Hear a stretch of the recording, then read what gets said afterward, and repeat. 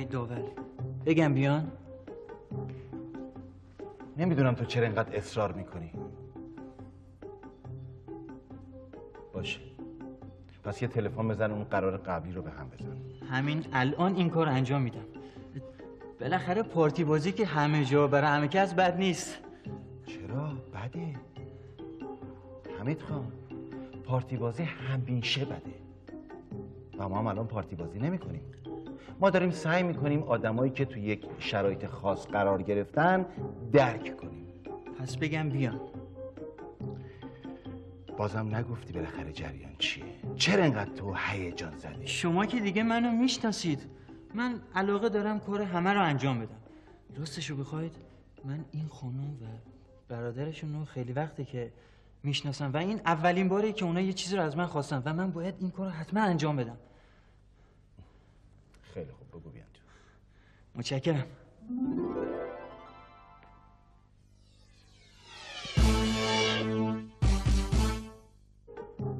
آقای داور خواهش می‌کنم خوب به حرفای من گوش بدید. من به خاطر یه سری از مسائل نتونستم این موضوع رو با خانوادم در میون بذارم. این درسته که اونا اینجا بشینن و ما اینجا با هم اینجوری صحبت کنیم؟ راستش راستش من می‌خوام شما به خاطر یه امر خیر به من کمک کنید. چون من همین یعنی تو واقعا نمی‌تونی سب کنی بعدم با هم صحبت کنیم؟ خب بفرمایید خانم. ما منتظریم. صحبت بفرمایید ما برای خداحافظی آمدیم و یک گلایه کوچک. ولی نه شکایت. جسارت ما رو باید ببخشیم. خداحافظی. ولی ما تازه داریم با هم آشنا میشیم. این آقایون برادران شما هستن؟ بله. ولی این که کوچکتره پسر برادرمه. پسر برادرتون؟ پدر خدا محمد مرحوم شدند. خدا بیامرزدشون. اون یکی هم برادرمه لطیف. ما نمی‌خواستیم مزاحم بشیم. گفتیم که خدافزی نداره دیگه. وقتی ببینن نیستیم خودشون می‌فهمن که رفتیم. بعد راجع به شکایت این چیزام که من اهلش نیستم. من مقصود شما رو نمی‌فهمم. حمید جان. آقا لطیف چند وقته که برادرتون مرحوم شدن؟ خیلی وقت نیست آقای دار همین ایدی بود. اول بهار. جدی؟ بهار امسال؟ بله. من کاملا یادمه. تو چطور یادته؟ تقریبا همون موقع بود که من افتخار آشنایی با این خانوم و برادرشون رو پیدا کردم. چطور؟ یه خونه رو تو کوچه ما خراب کردن. یه خونه خیلی بزرگ با یه حیات خیلی بزرگ. یارو اومد سریع کارگر ریخت و همه جا رو زد خراب کرد و شروع کرد به ساختن. یه دونه از همین آپارتمانی که امروز پر شده توی شهر. برادر منم کارگرای یکی از همون ساختمون بود. یه روز دیگه از سر صدای کارگرای ساختمون خسته شده بودم. خیلی عصبی شده بودم. رفتم که تذکر بدم. بابا اینقدر سر صدا نکنید. گناه کارگرا چیه؟ البته چی؟ ساختمون سازی که بدون سر صدا نمیشه. همونجا بود که من با این خانم آشنا شدم. اومده بودن که برادرشون رو ببینن. آره. برادرم از وقتی اینجا بود همش کارگر ساختمانی بود. خوب خیلی اتفاقای ناجور برای کارگرای ساختمانی میفته. نمی‌دونم مردم اگر اینا رو بفهمن چطور تحمل می‌کنن. نمی‌دونم شما هم می‌دانید یا نه. می‌دانید برخورد سنگ و آجر بر سر کارگرا افتادنشون توی چاه خفگی و مرگای مختلف. راستش همیشه وقتی داداشم می‌رفت سر کار دلشوره داشتم. اما این دفعه بیشتر از همیشه. دلم می‌خواست بهش بگم منم بیام سر کار اما می‌دونم که اجازه نمی‌داد. اصلا شاید برام کار پیدا نمی‌شد. می‌فهمم. شاید برای مردم قابل درک نباشه چون نمی‌تونن به ما اعتماد کنن. نه اینطور نیست. بالاخره امکان داشت برای شما هم کاری پیدا بشه. شما شما سواد دارین. اون موقع که تو افغانستان بودم دانشجوی ادبیات فارسی بودم. اما بعد که مجبور شدیم جلای وطن کنیم پدرم و مادرم و بخیه رفتن پاکستان. ما آمدیم اینجا. دختر کوچکه برادرم همسن پیروزی مونه. اسمش بهاره. همون موقع که شوروی را از خاکمون بیرون کردیم. منتظران بهار بوی شگفتن رسید. بهارای افغانستان خیلی کوتاه شیرینه ولی خیلی کوتاه. شما فکرش رو بکنید تو تاریخ افغانستان چند بار اتفاق میفته که بهار بشه؟ با این که همه منتظر بهارن. برای رستن بهار همه شایستگیش رو دارن. چون همه آدم ها رنج کشیدن. همشون محروم بودن. من هم سن شکستمونم همسن مبارزه نه شکست ما هممون همسن مقاومتیم. منتها دیگه الان موقع بازگشته برادرم یار محمد شبا سر ساختمون میمونده همونجا میخوابید. یه اتاقه که درست کرده بود گوشه زمین. همونجا شبا می‌گرفت میخوابید تا صبح که کارگرا بیان. با من زندگی می‌کرد. جمع شبا دور هم جمع می‌شدیم لطیفم که تو بندر کار می‌کرد یا وقتی دومای سبایی میامد پیشمون. من یه موقعی شبا می‌رفتم پیش یار محمد. می نشستیم با هم صحبت می‌کردیم و یه چایی هم میخوردیم یه جمعه که تنها بودم نه یار محمد اومد نه لطیف. کلی وایسادم اما یار محمد پیداش نشد. خودم برگشتم رفتم سر ساختمان. رفتم دم اتاق که یه لحظه پرده رو نزدم کنار. گفتم شاید یار محمد دلش به رحم بیاد و برگرده خونه. آخه ما خیلی رنج کشیدیم. از همون اول که چشم باز کردیم. پدرم مرده بود. به شب بود که مرده بود.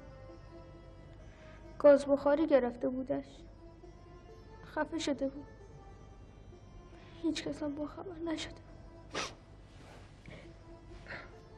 کوچه فکر می‌کرده یه شب به حادثه رو پشت سر گذرونده. هنوزم اونجوری فکر می‌کنه. اما نش یار محمد ما توی اون ساختمون نیمه کاره مونده بوده.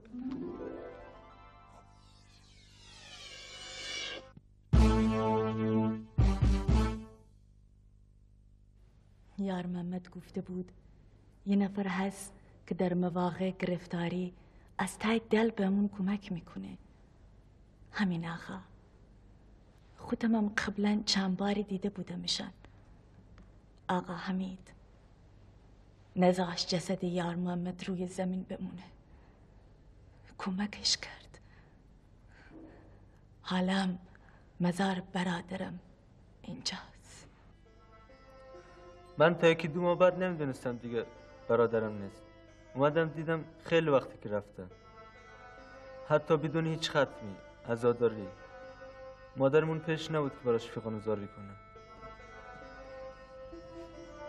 دلم برای پدرم تنگ شد. پروین اون شعری که برای ملت مسلمان ایران نوشته شده بود. می‌خونی؟ این مال یه شاعر افغانه. غروب در نفس گرم جاده خواهم رفت. پیاده آمده بودم. پیاده خواهم رفت. تلسم خربتم امشب شکسته خواهد شد و سفرم که توهی بود بسته خواهد شد و در حوالی شبهای عید همسایه صدای گریه نخواهی شنید همسایه. همون قریبی که قلک نداشت خواهد رفت و کودکی که عروسک نداشت خواهد رفت.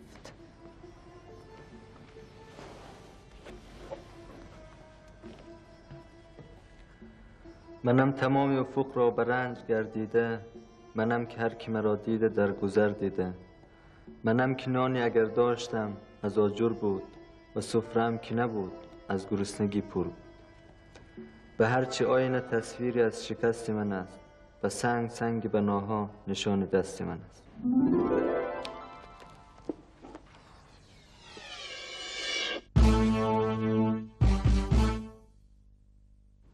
برای شادی روح یار محمد یه فاتحه بفرستید.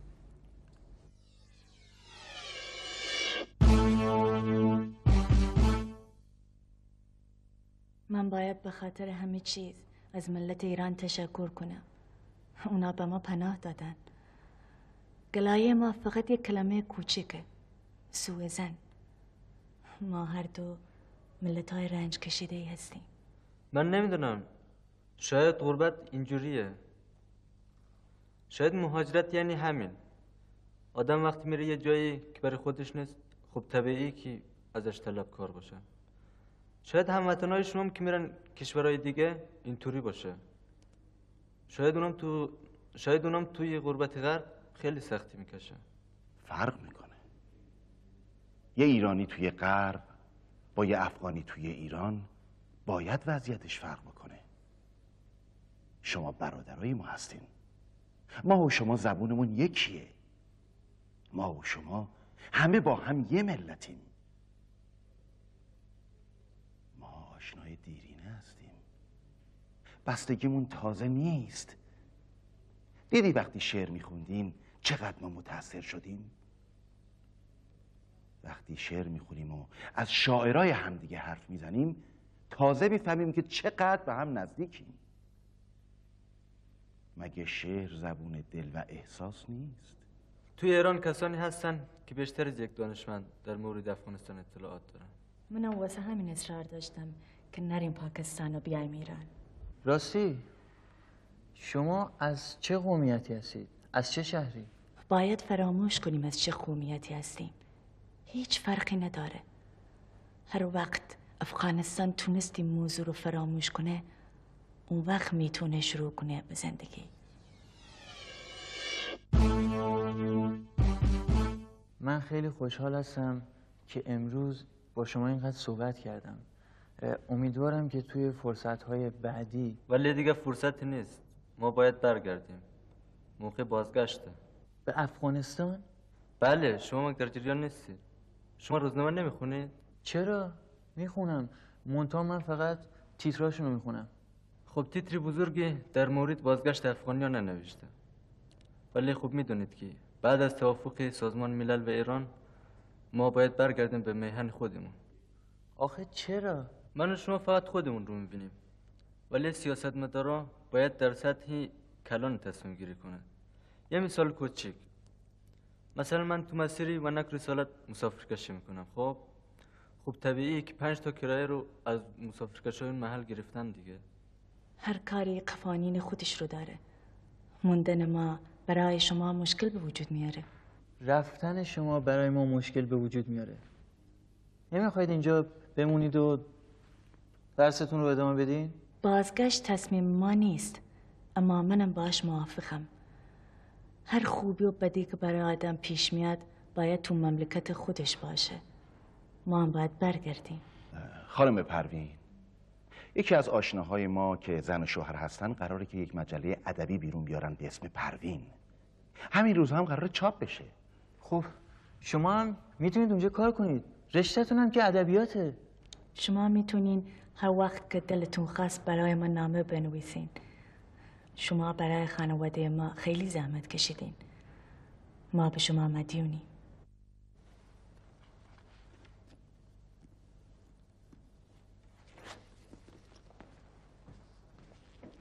تقدیم به شما.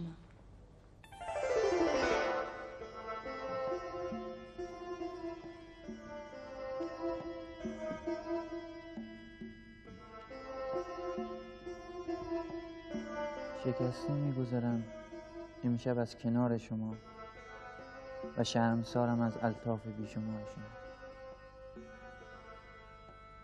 من از سکوت شب سردتان خبر دارم شهید دادم. از دردتان خبر دارم. تویی که کوچه غربت سپرده با من و نش سوخته بر شانه برده با من. اگرچه مزرعه ما دانه های جو هم داشت و چند بوته مستوجب درو هم داشت. اگرچه تلخ شد آرامش همیشه تن اگرچه کودک من سنگ زد به شیشه تن اگرچه سیبی از این شاخ ناگهان گم شد و مایه نگرانی برای مردم شد. دم سفر مپسندید نامید مرا ولو دروغ عزیزان بهل کنید مرا. خدا زیاد کند اجر دین و دنیاتن و مستجاب شود باقی دعاهاتن. همیشه قلک فرزندهایتان پر باد و نان دشمنانتان هر که هست آجر باد.